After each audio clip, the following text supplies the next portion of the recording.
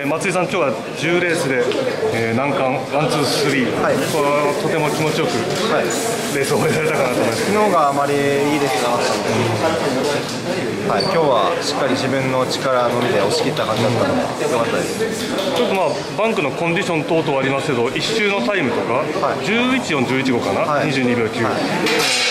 ぱっと見おいいんじゃないかなという感じしますけど、ご自身もゴール戦まで本当に足が軽かったんで、うん、全然これ押し切れるような感じです、うん。はい、こういう手応え掴んで、その準決に向けて、よ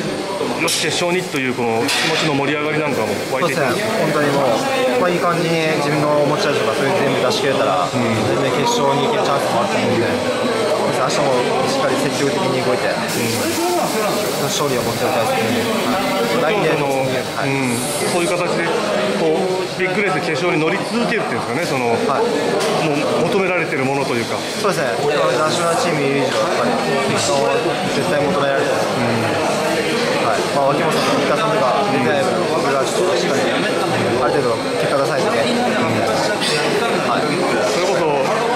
特別の決勝でいわゆる松井郡司が定番化するぐらいの。そうですね、うん、それがいいですねやっぱり。定番化して、